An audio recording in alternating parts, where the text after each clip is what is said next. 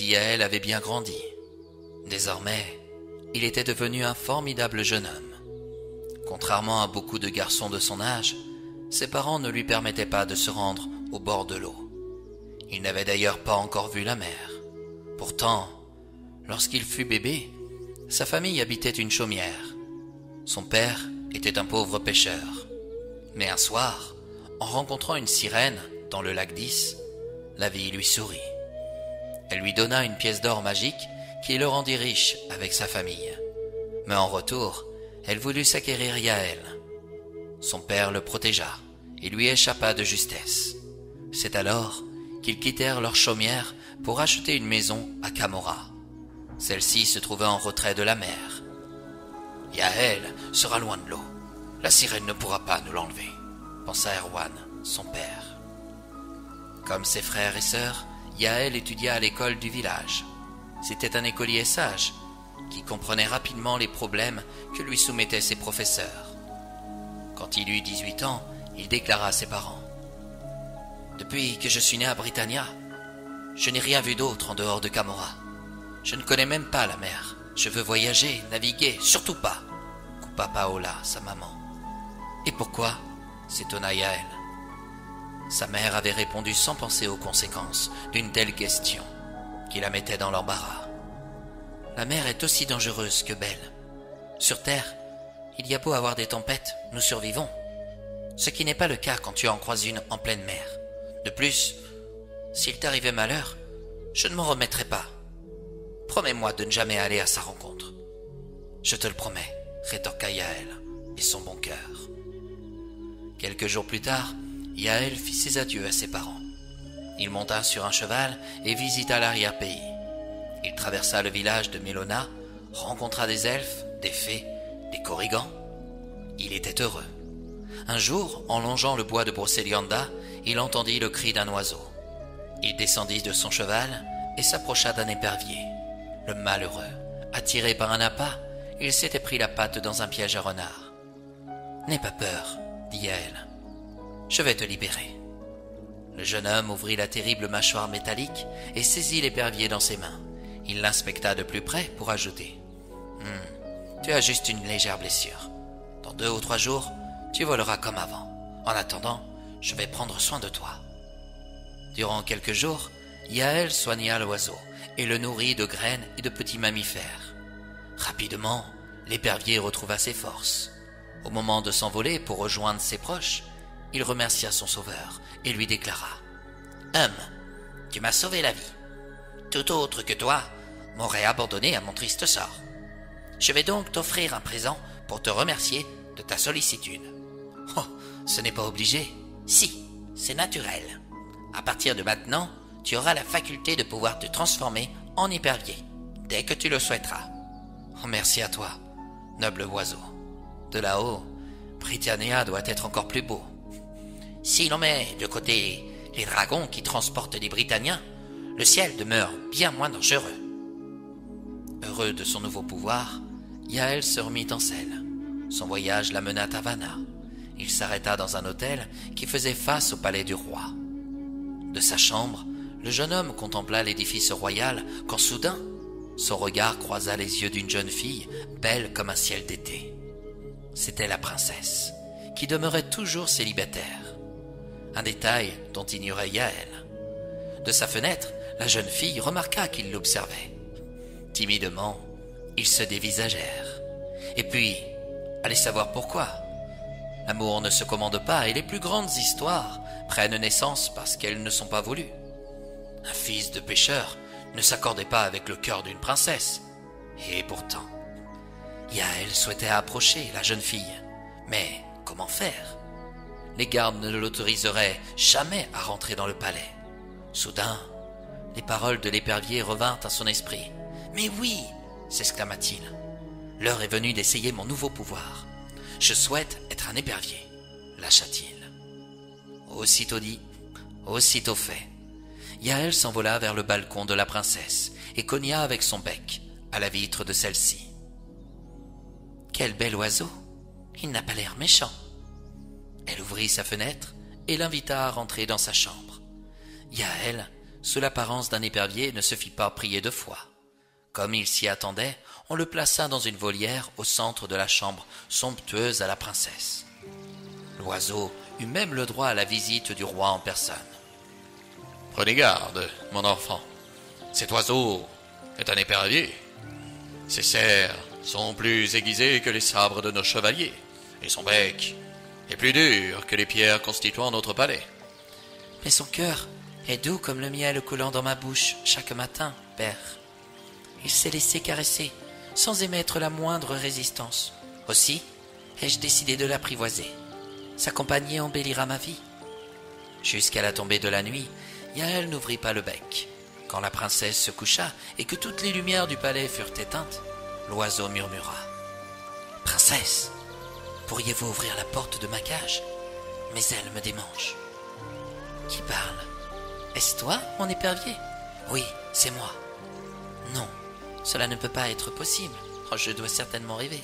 Non, vous ne rêvez pas. Ouvrez-moi et vous verrez ce qui se passera. La princesse s'exécuta, car sa curiosité était grande. Yael reprit sa forme humaine et expliqua qu'il s'était changé en épervier afin de venir jusqu'à elle. La princesse reconnut le jeune homme qui l'avait regardé tendrement le matin même, à l'hôtel d'en face. Qu'est-ce qui t'a pris de venir jusqu'à moi, jeune imprudent? Mon père, en te découvrant, te décapitera sur place. Comment pourrait-il le savoir? Pour tout autre que vous, je ne serais qu'un épervier. La princesse s'apaisa. Yael devint un oiseau le jour pour redevenir britannia la nuit. Ce jeu plaisait à la princesse, car sa vie, au palais, demeurait monotone. Elle s'accommodait si bien de sa présence qu'elle ne sortait plus de sa chambre. Au bout d'une semaine, cela inquiéta le roi. Ma fille, depuis que vous possédez cet oiseau, je ne vous vois plus. Serait-ce sa compagnie qui vous éloignerait de moi et de la cour? Oui, père, affirma-t-elle. Très bien. À la vue du contexte actuel, je me dois de le chasser de mon palais, acclama le roi. Oh non, supplia la princesse. Ne me l'enlevez pas. Cet épervier est mon seul ami. Un ami? Que me chantez-vous? Devait-elle avouer son secret? Accepterait-il de savoir qu'elle l'avait trompé? Tant pis. La princesse prit le risque de tout lui dire. Cet épervier est un jeune homme qui m'aime et qui s'est transformé en oiseau pour m'approcher. Comment? Je ne peux tolérer un étranger dans mon palais sans mon autorisation. Il m'est hors de question à ce que vous le gardiez plus longtemps. Garde Transportez la volière dans mes appartements et surveillez-la. Ainsi avait parlé le roi. Or, sa fille ne revint pas dans les soirées qu'il organisait en son honneur. Privée de son ami, elle se laissa dépérir. Au bout de quelques semaines, son état s'aggrava. Son père vint à son chevet, inquiet. Votre épervier vous manque à ce point? Ce n'est pas lui qui me manque, mais le jeune homme qui en a pris sa forme. Est-ce une manière de me demander? Si vous voulez l'épouser En effet, je suis certaine que cela me sauverait, avoua-t-elle. Comprenant qu'il n'avait pas le choix, le roi libéra Yaël et ordonna le mariage de sa fille. Hélas, cette union ne rendit pas tout le monde heureux.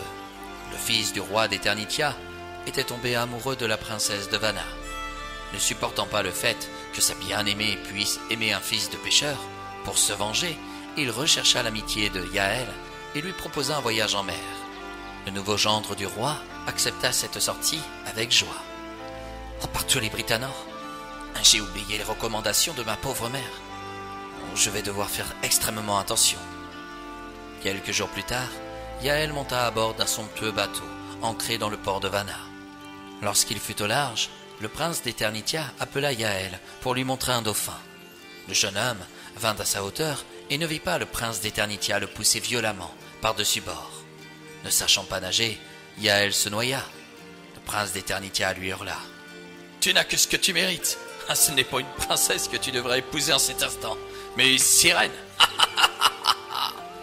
L'ignoble personnage éclata de rire. Toutefois, en parlant de sirène, écoutez ce qui va suivre concernant le sort de Yaël. Quand il sombra dans les profondeurs de l'océan, une sirène vint à son secours, et pas n'importe laquelle. Il s'agissait de celle qui avait voulu le voler à son père alors qu'il venait juste de naître, quelques heures plus tôt. Enfin, te voilà qui me revient, Yaël. Je t'attendais depuis si longtemps, dit la sirène. La créature l'amena dans son royaume sous l'eau et lui permit de se mouvoir comme de respirer de la même manière qu'un Britannia. Durant deux années, Yael devint son prisonnier. Il avait beau la supplier, la sirène refusait de le laisser partir. Alors, comme la princesse de Vanna, il se laissa mourir. Craignant de le perdre pour toujours, la sirène le laissa retourner à la surface, mais elle l'accompagna. À peine avait-il retrouvé l'air que Yael se transforma en épervier pour s'envoler et la fuir. Par tous les Britanors hurla la sirène. Il m'a berné comme une sardine. En colère, elle déclencha une tempête en pleine mer. Mais comme son père Erwan, Yael échappa de justesse à la créature et fila retrouver le royaume de Vanna. Là-bas, il s'étonna de voir le peuple s'agiter dans les rues. Que se passe-t-il? demanda-t-il en arrêtant un Vanien. La princesse se marie demain. Vous l'ignorez? Elle n'était pas déjà mariée objecta Yael. Si, mais son époux s'est noyé en mer, il y a plus de deux ans maintenant. Notre roi l'a convaincu de mettre fin à son deuil pour se remarier avec le prince d'Eternitia. Comment? Cette remarque surprit le Vanien. Yael eut du mal à contenir sa colère. Avec les quelques pièces d'or que lui avaient données ses parents avant de leur dire adieu, il s'acheta des vêtements dignes d'un futur souverain. Il était si beau que tous les passants le laissaient passer. Certains parmi le peuple déclaraient Connaissez-vous ce prince? Oh, il est aussi beau qu'un centaure. Je ne sais pas si la princesse a fait bien de se remarier avec le prince d'Eternitia. Tu ne trouves pas qu'il ressemble au prince Yael Avez-vous vu? Ses vêtements sont cousus de fil d'or. Yael se présenta devant les grilles du palais. Les gardes ne voulurent pas le laisser entrer, même avec autant d'élégance. C'est alors qu'il se changea en épervier, sous leurs yeux, et qu'il se rendit sur le balcon de la chambre à la princesse. Il cogna à sa fenêtre, et quand celle-ci le vit, elle lui acclama les larmes aux yeux. Yael, mon amour, tu es revenu, mais je te croyais mort. Oh, c'est une longue histoire, ma bien-aimée. Je vais tout te raconter. Yael affirma comment le prince qui lui était promis avait voulu le noyer, et comment une sirène l'avait retenu durant deux années prisonnier. Puis il acheva. Beaucoup ont oublié mon visage, ne dis à personne qui je suis. Mais c'est avec toi que je souhaite vivre ma vie. Moi aussi, et voilà comment nous allons agir. Le soir venu, Yael se rendit dans l'immense salle où l'on y joignit des convives en l'honneur de la future mariée. Quand la fin du repas fut prononcée, la princesse se leva et prit la parole devant tout le monde. Mon père, un souci se pose à mon esprit. Parle, ma fille. Rien ne doit obscurcir tes futures noces. Voilà. J'avais pour ouvrir mon coffre à bijoux une clé d'or. Je l'ai égarée par mes gardes. J'en ai donc fait faire une autre. Cependant, au moment de me servir de la nouvelle, j'ai retrouvé l'ancienne. De laquelle dois-je me servir? De l'ancienne ou la nouvelle? Tu connais la valeur que je porte à la fidélité. De l'ancienne, bien sûr. Qu'en pensez-vous, prince d'Eternitia? S'il s'agissait de mon épée, je répondrais aussi sagement que votre père, princesse. Puisqu'il en est ainsi, je vous présente mon premier mari qui se trouve parmi nous ce soir. L'ai retrouvé et je souhaite le garder près de moi. Yael se leva et vint à la hauteur du roi. Il lui déclara Majesté, vous vous apprêtiez à commettre une grave erreur. Vous alliez donner la main de votre fille à l'homme qui a tenté de me noyer en pleine mer. Ce filou doit être banni de votre royaume pour toujours. Le roi n'eut pas le temps d'approuver les recommandations de son gendre. Le prince d'Eternitia avait déjà quitté le royaume de Vanna sans demander son reste. Et c'est ainsi, mes chers amis, que nous arrivons à la fin de cette histoire. Yael put vivre heureux et en paix aux côtés de son épouse. Il en profita pour retrouver son père à Camorra. Sa mère n'avait pas survécu lorsqu'elle apprit sa disparition en mer. Pour honorer sa mémoire, Yael veilla à ne plus approcher l'océan, car au fond, une sirène veillait sur lui. Elle attendait toujours ce fils qu'elle n'avait pas eu.